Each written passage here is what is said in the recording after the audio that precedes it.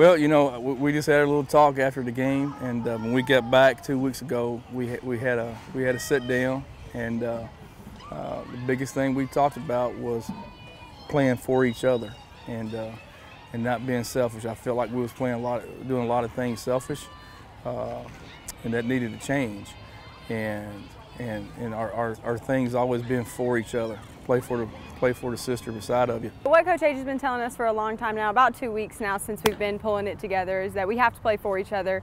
If we play individually, we won't be as successful as we have been. I'm really proud of the whole team. We just come together, whether it's getting little ground balls to move base runners. We've just been really successful because we all love each other and we're fighting for each other. We're just focusing on this year as for each other, so I just get up to the plate, know what I want to do, know how to do it, and if it's just move a runner over, I got to do my best to move the runner over and just be there for my teammates. Well, you know, there, there's however many different ways you want to look at it. Corbin is good because of Kennedy and Cooper.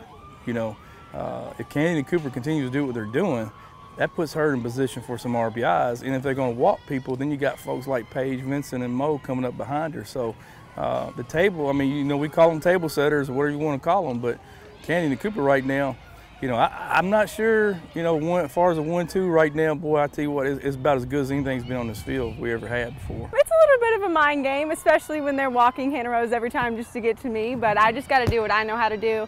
I know I'm not a Hannah Rose hitter, but I'm, I'm a me hitter, so I, I just do my thing. Just be happy for one another and not worry about how bad or how good you're doing. Just make sure that you're worrying about your teammates and what they're doing. We're going to find a way no matter who's up to plate. It doesn't matter who's pitching. We'll just find a way. It's just the way it is. We'll find a way. There's so much cheering, high fiving, pulling from one another.